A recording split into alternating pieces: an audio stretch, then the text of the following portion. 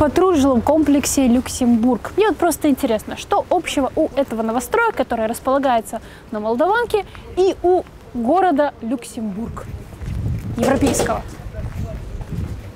Я поеду сюда, знаете, вот, получается, я в Европу не могу попасть, но вот благо, что у нас вот в городе есть э, жилой комплекс Люксембург. Так хотя бы таким образом попытаюсь попасть в Европу. Итак, Николай, пандус практически вот, сразу.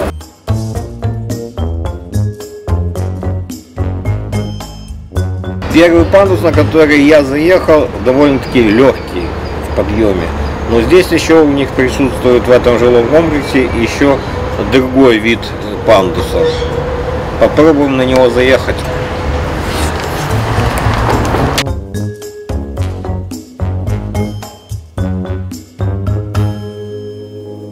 На этот пандус, конечно, я заехал с усилием, потому что второго поршня нету, и высота подъема больше, чем на предыдущем пандусе. В этом жилом комплексе предусмотрена и детская площадка, и спортивная площадка. Но, к сожалению, люди с инвалидностью этим воспользоваться не могут, потому что отсутствует пандус. Единственное место, где я могу быть, это вот здесь вот сидеть за этим столиком, своими, допустим, соседями, играть в нарды там, или в карты, или еще что-то. Оценивая доступность в жилом комплексе Люксембург, можно сказать, что здесь 50 на 50. То есть на детскую площадку мне как отцу заехать невозможно. Воспользоваться спортивной площадкой я тоже не могу, отсутствует пандус. Некоторые подъезды я могу заехать легко, некоторые подъезды очень трудно. Пойдем в подъезд. Сразу при входе остатки старой двери. Осталась рама. Вообще-то от экс э, рекомендуют избавляться, ну, чтобы ночью не писать пьяные сообщения. Что? Это была метафора. Это пожарный выход. Пожарный выход.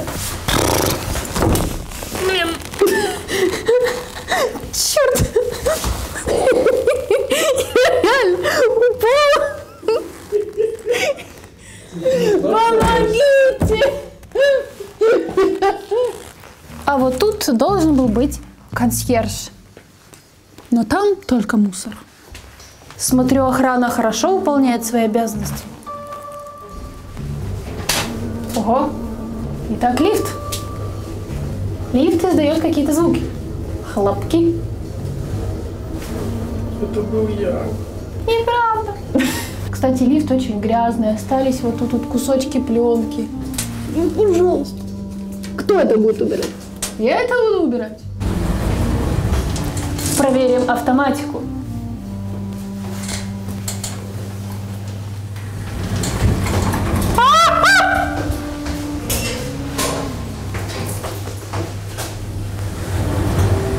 Автоматика для акробатика.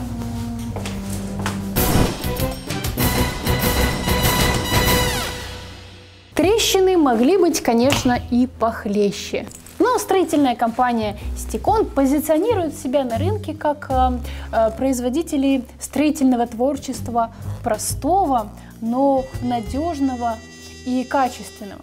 Ну так вот, в данном случае украдена, э, во-первых, краска, потому что все криво покрашено, во-вторых, шпатлевка, и в-третьих, сетка. Из-за того, что нет сетки, мы видим, как треснул газобетон. Вернее, как трещина вот просто окружила этот газобетон.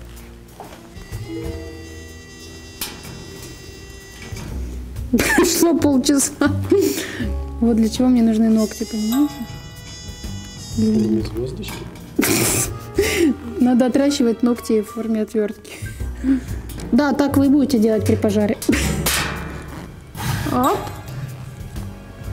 Ключик. Ключик. Нету ключика. Вот у нас пожар. Ключика нет. Как сюда добраться?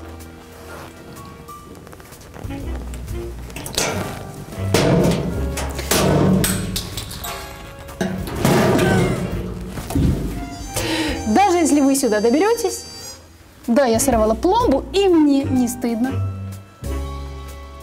А гидранта нет. Сейчас проверим, есть ли напор воды. Ой, давайте в другую сторону попробуем. Кран даже не крутится. И я не слышу звука воды, значит ее нет. Трещина животрепещущая. Трещина рукоплещущая. А в этом углу у нас идет с вами штукатурка пад.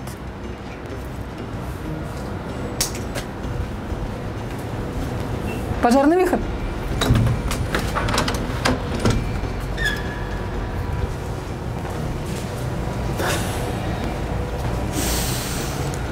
А тут, кстати, кто-то травку курил. Ах, не передать вам этих запахов, не передать, не передать. Причем только что. Самые дорогие квадратные метры во всем доме – это паркинг, потому что вы покупаете 2 на 2 метра, платите как за квартиру э, на поселке Котовского тысяч десять, а если более элитный дом, то и тысяч тридцать, то есть как э, квартира в центре, а получаете за это ничего. Ну, в данном случае очень дешевую плитку, самую дешевую, какую только можно, и торчащие провода. Когда трещины не только э, в самом доме на стенах, но еще и на полу в паркинге, то тут начинаешь невольно э, задумываться, точно ли строительная компания э, профи. А трещина-то в палец, смотри, видишь? Вот, смотри. Тут как будто землетрясение было. Подожди, подожди, подожди. Вот это паркоместо. То есть здесь должна стоять машина. А это пожарный выход, который преграждает автомобиль, по идее. И вот еще какая-то дверь. А вот это, дорогие мои друзья, плесень.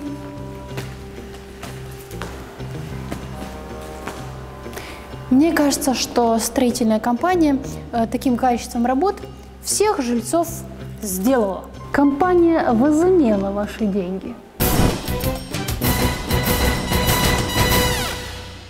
На детской площадке на земле должно быть резиновое покрытие. Вот это открытие! Вот это резиновое покрытие! Вот это? Нет! Нет! Нет!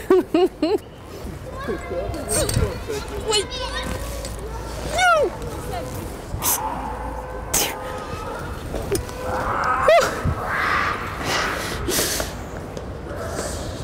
Все.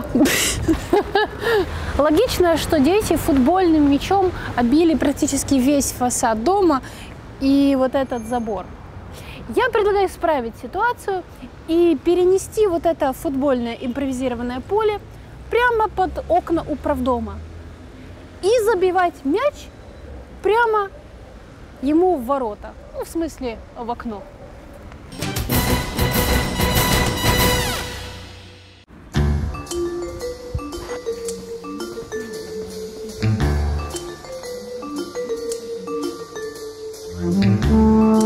Осмотрела квартиру в жилом комплексе Люксембург. Итак, жилье в состоянии от застройщика. Газобетон, который крошится, как несвежая булка. Трещины повсюду и гвозди. Только не пойму, для чего? Кого вешать будем? Кое-где и вовсе нет газобетона. Смотрится, будто нора для будущих нежелательных питомцев. И в дополнении остатки строительных конструкций в бетоне, которые будут гнить и портить ваш ремонт.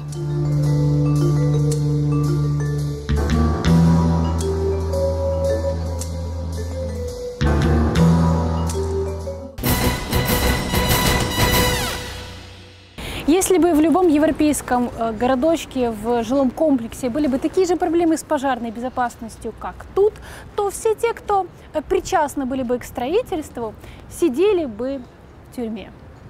А тут эта строительная компания продолжает строить, при этом абсолютно забыв про вот этот дом, который превратился уже, я бы сказала, в хлев, настолько там грязно и неуютно.